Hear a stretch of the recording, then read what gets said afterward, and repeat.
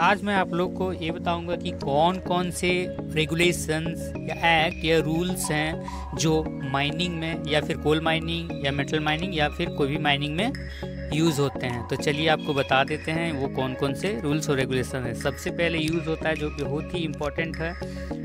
पहला है coal mines regulation 2017 ये पहले कोल उन्नीस कोल माइंस रेगुलेशन उन्नीस सौ सतावन था जो 2017 में अपडेट किया गया है। दूसरा है माइंस एक्ट उन्नीस सौ बावन, जो अभी यही चल रहा है। तीसरा है माइंस रूल 1955 चौथा है माइंस रेस्क्यू रूल उन्नीस सौ पचासी।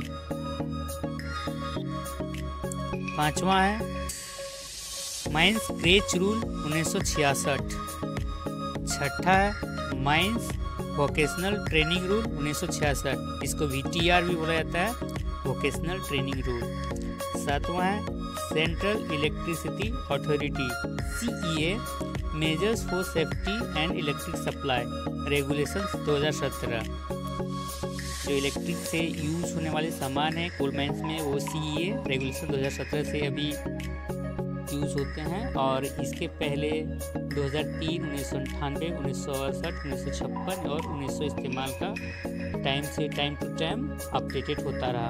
अगला है, आज द मेटालिफेरस माइंस रेगुलेशंस 2018 जैसे कोल माइंस होता है, उसी तरह मेटल के लिए मेटालिफेरस माइंस रेगुलेशन है।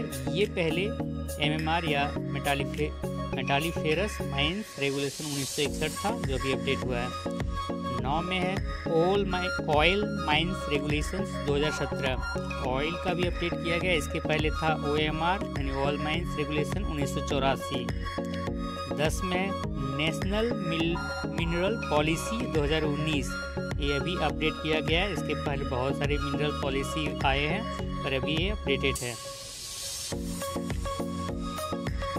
ग्यारह नंबर में है मिनरल कंजर्वेशन डेवलपमेंट रूल 2017 बारह नंबर में है इन्वायरमेंटल एक्ट उन्नीस सौ प्रोटेक्शन के लिए। तेरह नंबर में coal mines conservation and development act उन्नीस सौ चौहत्तर। चौदह, कोड ऑफ़ क्रिमिनल प्रोसीड्यूर उन्नीस सौ तिहत्तर। पंद्रह off areas mineral concession rules 2006 सोलह national mineral exploration trust rule 2015 सत्रह, इंडियन मेडिकल काउंसिल एक्ट उन्नीस सौ छप्पन।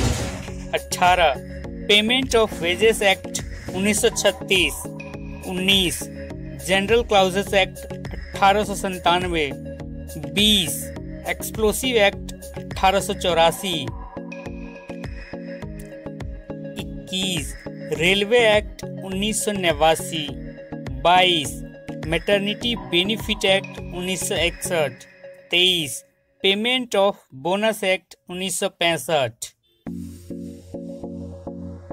चौबीस इंडस्ट्रियल डिस्प्यूट एक्ट उन्नीस सौ सैतालीस, पच्चीस ट्रेड यूनियन एक्ट उन्नीस सौ छब्बीस छब्बीस प्रोविडेंट फंड्स एक्ट उन्नीस सौ पच्चीस प्रोविडेंट फंड या पीएफ भी इसको बोलते हैं। सताइस मिनिमम वेजेस एक्ट, उन्नीस सौ अड़तालीस।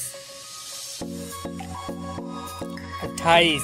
एम्प्लॉज कॉम्पनसेशन एक्ट, उन्नीस सौ तेईस। उनतीस। मिनरल्स ऑक्शन रूल 2015 तीस। The coal mines and labour welfare fund repeal act, उन्नीस सौ छियासी। इकतीस। डीजीएमएस सर्कुलर और ये डीजीएमएस सर्कुलर जो होता है, वो हर एक महीना अपडेटेड होता है तो इसका कोई ये मतलब परमानेंट साल नहीं है। यदि आप लोग को इनमें से कोई भी पीडीएफ का ज़रूरत है तो हमें कमेंट बॉक्स में कमेंट कीजिए, मैं आपको पीडीएफ प्रोवाइड कर दूँगा। यदि आप लोग को मेरा वीडियोस पसंद आता है तो मेरे वीडियोस को लाइक भी कर दीजिए, और कुछ पूछना चाहें तो कमेंट भी कर सकते हैं। कमेंट बॉक्स में कमेंट कीजिए, और मेरे चैनल को ज़रूर सब्सक्राइब कर दीजिए ताकि मैं और आगे इसी तरह का वीडियोस बनाता रहूँ। थैंक यू दोस्तों। जय हिंद।